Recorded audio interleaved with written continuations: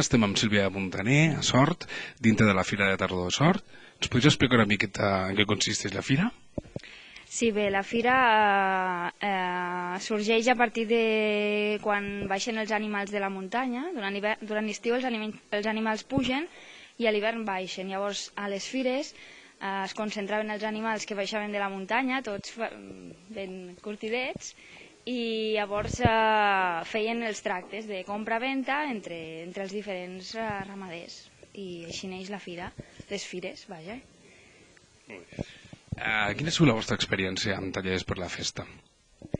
Bé, mmm, la nostra experiència amb tallers per la festa ha consistit en la realització de cinc tallers durant aquest any, durant aquest primer any, eh, un de gralla, un de balls tradicionals, un d'acordió, un de confecció de vestits tradicionals també i un de confecció de la huella xisqueta. I bé, eh, el més eh, espectacular ha sigut aquest, no? perquè s'ha construït un element de bestiari que serà doncs, eh, el referent de la fira de, de sort.